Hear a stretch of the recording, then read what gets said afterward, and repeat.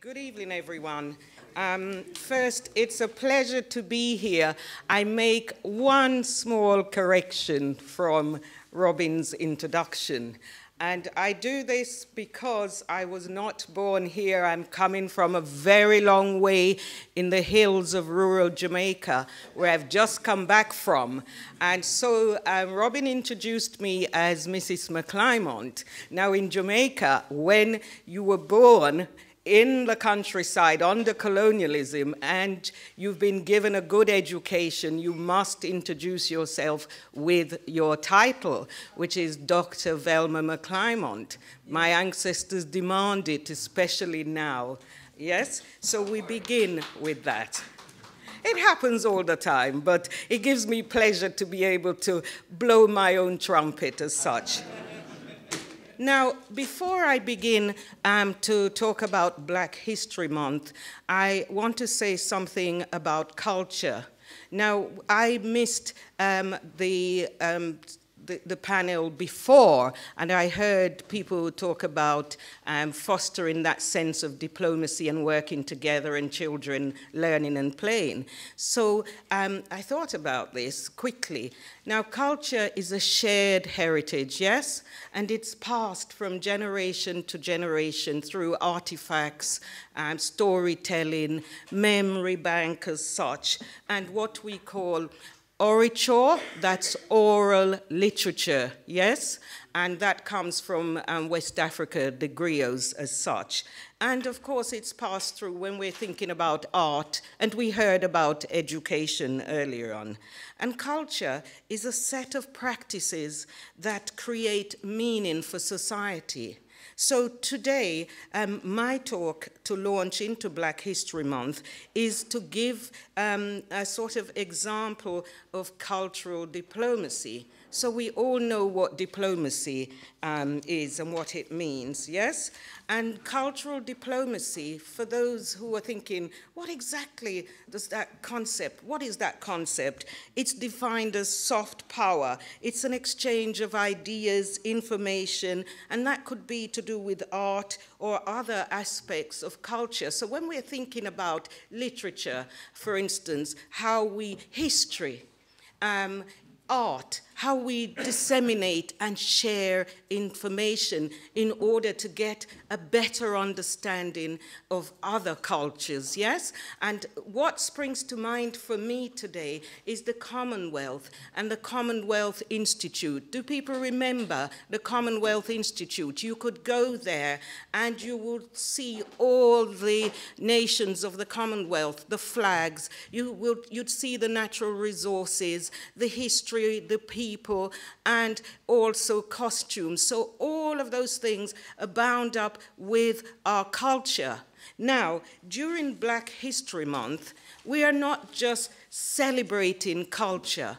We are actually um, marking the achievements of black people against the odds. And by that I mean people of African descent, because we are now, as of 2015. Yes, people are people aware that we are in the international decade of people of African descent. Are people aware of this? So the UN has designated, so for the next 10 years, well, it's not 10 now, is it, from 2015, and it means that um, redressing past wrongs and um, acknowledging and recognizing injustices and inequality here and now. So when we think of black history, it is not about just sharing music. It is not just about sharing food. It is not about costumes alone. It is actually about obstacles overcome. It is about the contributions of black people globally to world history when we're talking about inclusion and exclusion. It's also very important at this moment in time for us to be aware of black history. Not, for me, it is not so much a, of a celebration. It, it is that it should be incorporated in world history as such. But this month is designated Black History Month, and it's a wonderful time for cultural diplomacy because when you're thinking of governments as such, you can see how I want to use exploit, but in a positive way, how governments can when think of tourism, because I've just come back from Jamaica, and how you can showcase the best of a nation, of a country, your culture and the icons, the artifacts. So if you were thinking of Jamaica, obviously I'm going to fly the flag today, and so that's Commonwealth. So we're thinking of all the Commonwealth nations here. But if you were thinking of Jamaica and culture, immediately what springs to mind is that people will be thinking about reggae music and Bob Marley and maybe Usain Bolt, you know, in, in terms of sport. So you can see how governments can actually get involved and that NGOs, uh, charities, and how individuals can become a part of this cultural diplomacy that we are talking about, and how we can also use cultural diplomacy, in a sense, to influence decision makers. So if you were a community group, during Black History Month, it's a fantastic time if you're able to get funding and if you are able to then influence the decision makers. Are people following me? Yes? So um, think of any organization, for instance, in June, so they're still doing some work now.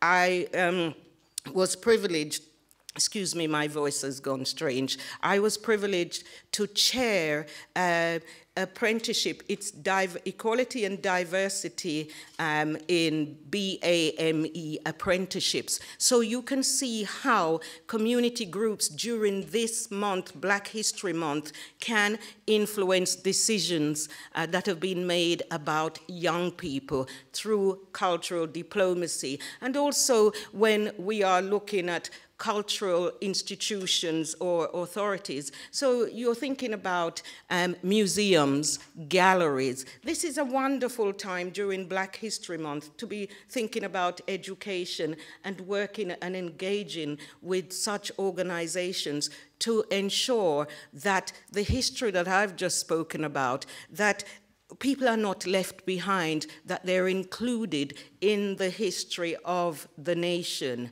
as such, yes? So it's a wonderful way of looking at cultural diplomacy, how you work with local governments, yes? Cultural institutions, and how you as an individual can get involved. So today, when we're thinking black history, how am I getting involved in cultural diplomacy?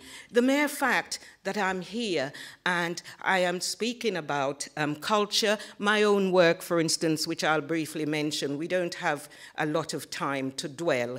So I'm here as an author, a writer, and I can be a historian in another place. Do you see how I am involved as well? Because by speaking here today, I may well influence somebody in this room to go away and to think of ways of including black history per se when you are looking at the curriculum, yes? Um, and that's a big um, area that it, it's probably not wise to touch on right now, perhaps later on as such, because there's a lot of work being done to bring black history into the forefront, not just in October, but all year round and in terms of higher education. And at the moment, we have a lot of institutions. I'm pleased to say even Oxford University, I've noticed uh, something came around recently. Every institution this month, they all seem to be doing something, and you can see that is cultural diplomacy at work during Black History Month. So in an um, to cut this short now, because I'm used to lecturing forever, and we need other people to speak, I am going to demonstrate cultural diplomacy at work. And by doing so, I am also giving a critique of culture. So I'm going to read four poems from my, a collection that I have just finished, or I thought I finished, but when I was on the beach in Jamaica two weeks ago, I was still busily changing and editing as such. So one speaks of colonialism. We heard Robin mention because um, my thesis looked at British colonialism. Um, another one uh, they're all to do with journey and identity, belonging. And so, culture, when you're thinking of the Commonwealth, a nation of people, a family, an extended family, we're talking about identity, belonging, cooperation, and unity. Yes? And so, without further ado, let me just read what you will find in terms of culture. And we think uh, Jamaica, you may well hear the odd word that you're not familiar with. And that's one way of sharing my culture in terms of multicultural, if you like, with you. So the first, I'm going to try, if, if it's at all, um, Robin or, I'm sorry, who's timing me, um, but I'm going to steal time today because time waits for no man. Okay, so the first poem is called Walkfoot Woman, and the collection is Walkfoot Woman and Other Poems. Now, Walkfoot Woman speaks for itself in the last two years since the Commonwealth Games people, so that's Scotland showcasing culture and its cultural diplomacy at work as well. I have visited, I think, um, Scotland seven times and other, I think I've made 14 trips abroad, research as well as um, this wanderlust from uh, what is happening to me. So the first one says, Walk foot Woman. Strolling through the glade, I picked up a stick when a faint sound came from a clump of bushes, causing me to turn in the direction from whence it came forth. To the east, I think. Whoosh! A smack, rather like a supplejack, followed by, Yaso Bandu, you have Kwati? Ahude? I called out. No one made answer. The voices survived only as faint echoes from the past. All at once, the Shaimamaka leaves curled and closed on a breath of wind touch me not. The glade suddenly gave way to dense woodland, where I left a trail for those who would come after. I, the walkfoot woman, let tied seven strips of my plaid head tie on random branches. Yes? So a supplejack is rather like a cane, and it would have been used under slavery to beat the enslaved. And kwati is like a coin that I went out of use um, in the 1960s. It would be like threepence, three penny, something like that. And yasso is over here. Bandu is this headband, and that's what you call somebody wearing a headband, okay? And the Shaimamaka is just chameleon grass. But that is how you are sharing your culture in terms of language as well with others to foster an understanding. Yes? Now, the other one is called masking. So, when we think colonialism during this Black History Month, we are only thinking of British colonialism. So, I felt that I've done enough of finger pointing over the last two years in Scotland. So I wanted to look at American, um, to look at racism in America, but not necessarily in a negative way. I want people to think. So cultural diplomacy is also about when you publish a book and you write it, you want people to read it and to get some kind of understanding, to empathize and sympathize as well, yes? Um, with characters, or even sometimes you're thinking, is this to do with the writer? So it's called Masking. You will hear two names, two books, Going to Meet the Man, James Baldwin, an African American writer, Home to Harlem, Claude McKay, Jamaican writer, in Harlem, and you will hear about um, the Tea Party, and that's a permanent feminist exhibition at Brooklyn Museum. And you will know about some kind of segregation in America, especially in New York on the subway, and I've experienced it on a number of occasions. So it says, masking. Riding the, cr the crowded, excuse me, any water, please? My voice is going to do a croaky thing here. But I'll try and um,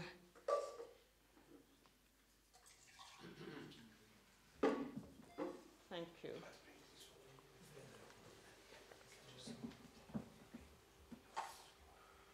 The wonderful thing about experience is that you, you don't rush and, um, as you do when you're a younger reader, writer, etc. Now, riding the crowded subway in Brooklyn Heights, conspicuous consumers clutch their pocketbooks with frozen faces like masks and sly civility, harboring an inherent hostility towards otherness. Ousted from digs in Going to Meet the Man, Baldwin's Peter returns to Harlem's embrace. Here, roomy eyed old Southerners croon Gershwin's. Summertime and the living is easy. Reliving the great migration north, raising a faint smile at a calico queen at the bar the unbelonging sips whiskey at Small's paradise, fuming about the expulsion from a white house, railing, Your door is shut against my tightened face. Home to Harlem, working gals click clack their way down Lenox Avenue in stiletto heels, hunting libertines to dance the Charleston on floors the size of a postage stamp. Downtown whites embraced the trumpet player, doing the black bottom with no care. Lo, the Cotton Club is closed to the likes of McKay's Jake on the run from duty call, the army. On a street corner, a busker strums his banjo vying for premium space with girls on the line. Nearby, blary eyed, two tone brogues rolled the dice in the local shebeen. Luck be a lady, luck be a lady tonight. Ride the dreary subway to the dinner party uptown. Exhibition at Brooklyn Museum the guests of honor, Sappho, Boadicea, and 37 sheroes dine on veal. Oh, how come Sojourner Truth is the only soul sister favored with a name place setting? Aha! 990 other sheroes inscribed in gold letters on heritage floor so if you go to the museum, they have over a thousand women, the names, and 37 place settings of women who've made a contribution to history, but only one black woman is given a place setting. So I was very upset about it, looking for Tony. tell me, to, Toni, Toni Morrison and Alice Walker and Maya Angelou and couldn't find them, but their names with 990 others inscribed in gold under the table. So I left um, America. Um, I, in fact, I started it there. Um, now, the other one, every writer these days um, to be inspired by ghost stories, which I don't do very well. And I thought, let me do something. It is nothing to do with history. This one is called The Collectors of Souls. Come away, Come away, the night spoke in whispers. Will you not come away? The voices coaxed. Come away from that empty, arid place, urged the collectors in their soft voices. Black robes draped over their stick thin shoulders, skin withered away with protruding ribs, and sunken eyes filled with a thousand lives. Come away from that desolate ruin. In spite of the sun and the raging heat, bareheaded blind boys built jet black sandcastles while girls, uncovered from the waist up, sat on the sands of time in the afterworld. Come away from there. Come, give up the fight. Come, sleep away the dark night of the soul. I don't know, it's very strange. It just came in one writing, and I thought, wow, where did it come from? Anyway, the last one thank you all for bearing with me, is called brata. Brata is a Jamaican word. Again, I am sharing culture with you and language. It is like a baker's dozen. So if you go to the market, the vendor will throw in an extra item, often fruit or whatever, yes? And coming to the podium late is because I've been writing a colossal book for over a decade, and every time I think I'm finished, I've just been to a, um, an indigenous uh, people of Jamaica, the first people before Columbus, the settlement, and also saw the original Spanish settlement with the cathedral. And then, obviously, when the English came from the very shores, I stood on the place, the plantation. And so I am floored because I now have to go back to the book. That's why it can't be finished. Every time I go to Jamaica, different plantation, different history. Um, so, and also it is about my, um, the writer's journey and some of the things, the obstacles. So it is semi-autobiographical, I shouldn't tell you that.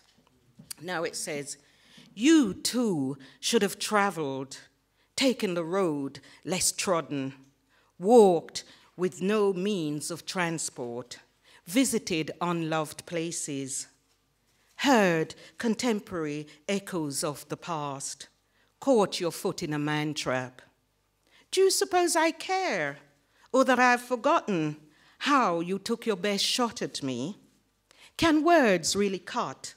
Like a shard of broken crystal or a piece of cold, sharp steel.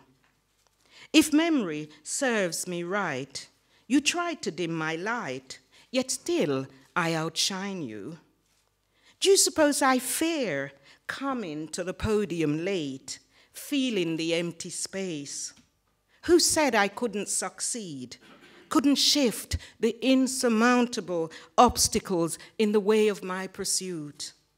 Though our paths cross annually, marking how far we've come, yet still I rise.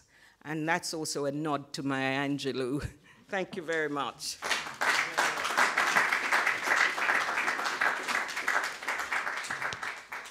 So do we, do we stay? Could you, could you stay and uh, take questions and answers? Hmm? Have some comments or some, some questions? Yes, yes, whatever, please, yeah. Actually, actually it's, it's very nice to hear the, the accents and the new sounds. It's lovely, lovely to hear. Good, good, thank you. Thank you. Thank and you. actually, it's lovely, lovely hearing you sing. It's lovely hearing you sing. Oh, I, my husband says, because I'm called Rose, I have a pet name. Jamaicans, for some bizarre reason, give their children pet names. My husband's always saying, Rose, no more singing.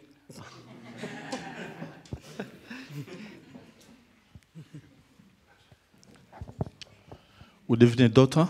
Good evening. I have one question that, uh, Yes. of a curiosity. When I see Jamaican flag, Yes. There is a three colors Yes, which you find in many African countries. exactly. Any meaning for this? Well, you see, the, the yellow is for the sun, green is for the land, and black is for hardship overcome. Um, now, you must understand that this was 1962, and when the decision was made, when Jamaica became independent, so it was no longer the Union Jack, yes? Um, so I don't really know, but when you consider that 90 something, if you're thinking of the population of Jamaica, it's about 90 odd percent are African, people of African descent. So, therefore, the fact that a flag in, say, I can't think because my brain has gone to Brazil, you see that flag. The, the fact that a flag from Africa has the colors, um, uh, or Jamaica has the colors of a flag from Africa, um, should not be surprising because we are part of a big global family. And when you're thinking black, is for hardship overcome, yellow is for the sun, green is for the land and the grass. You can see how that can equally move on to somewhere in Africa as well. But I'm sure there is something else, and I love that question because I need to, anything that somebody, you will ask me and I'm not giving you a full answer, I gotta research it. Thank you. Yeah, I just wanted to find out uh, in most of your writing, mm -hmm. I don't know whether you've included um, um, the kind of modernity which includes um, uh, the whites in a way um, that um, maybe with the neighbors or maybe the way, uh, not forgetting the past, forgetting the past and mm. looking at the future more or less, that this is how we're treated, this is our, because I've, I've read your poems and they're good, yes. but there is that element of not including the whites so much, so that that Ex culture, um, inclusion. I am jumping and e equally stopping you yeah. because I'm so fired.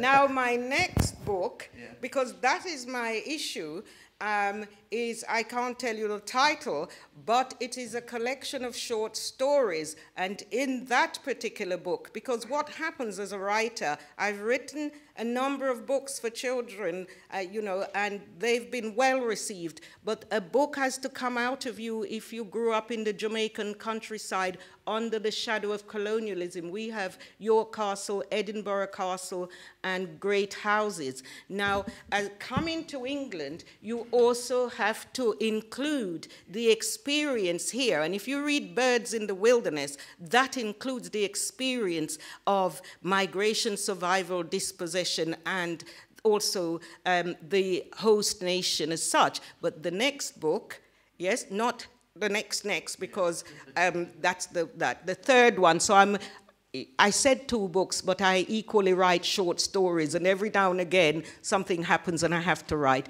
and you will find a lot of white characters. But the book I'm writing about colonialism, it is about six generations of, a, of white women in the Caribbean, and they do eventually come to England, and you will see how that pans out. So um, the white minority are not excluded. In fact, they are at the crux of the book and not necessarily slavery, slavery as such, because as um, families intertwine and you will see how people engage with each other. So it's not all about oppression as well, yes?